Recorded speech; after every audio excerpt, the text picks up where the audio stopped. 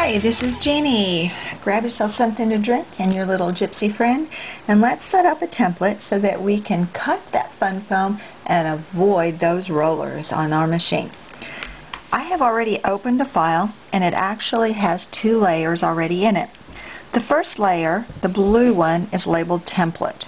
That's going to be really important because we're going to set up a series of lines that allow us to know where the, the rollers are going to go on our mat so that we can actually have the least amount of compression of our fun foam.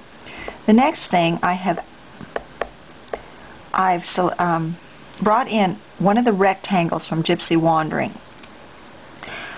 It doesn't have to be perfectly square. It can be a rectangle. It's only for a background. Next thing I want to do, turn the real size on, illuminating the A, and make sure that my little chain link on the height and width is turned off at 2.25 and the width at 12. Okay, those are the dimensions you're going to want depending on what shape you bring in.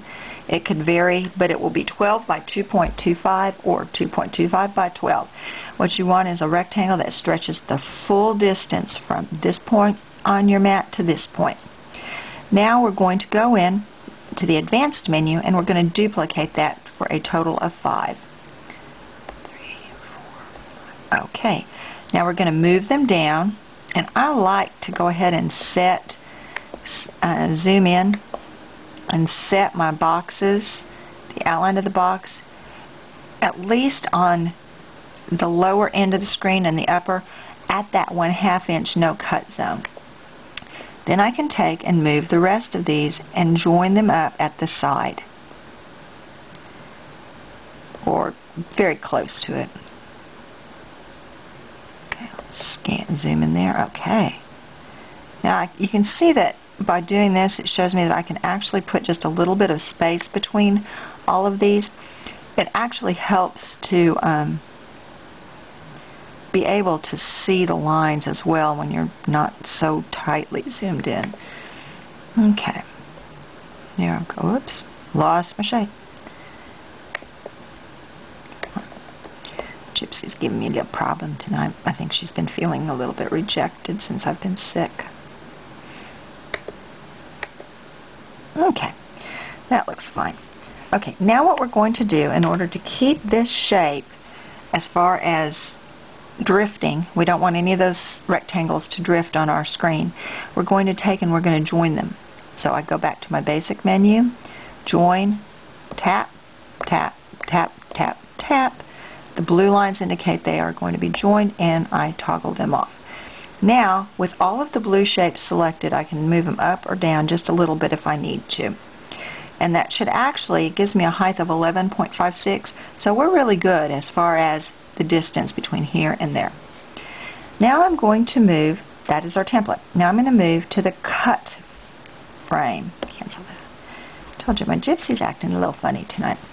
And now I'm going to select a cut that I want to be used on my card. And my plan is to make a thank you card that can be used for either a male or a female. So I'm going to go into French Manor, maybe, if it lets me. And I like to look for the cuts that are probably just not, they can be a little fancy, a little detailed, but not hugely detailed. And part of that has to do with the nature of the fun, fun foam. French there we go. Okay, I like one of these two as far as a fleur-de-lis. I think a fleur-de-lis is a, just a a very elegant design. And I'm going just one, taking it to my screen. And now you can see the fleur-de-lis that I've selected. Maybe. I'm going to want that a little bit bigger. Okay, and so what I'm going to do is I'm going to toggle on my height and my width so that it sizes proportionately, and I'm going to make it bigger. Now, Here's the tricky part.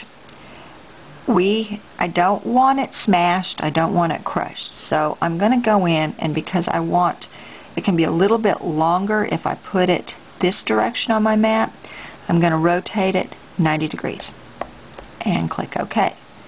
And now I have my fleur-de-lis that I'm going to move in between those lines and close to the edge of the map.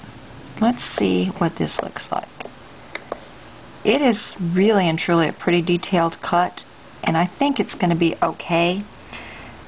But what I want to do is I'm going to go in and collect my contours. Hmm. Eh, let's cut. Okay. Alright. Set up. Good to go. And now I'm going to set up my fun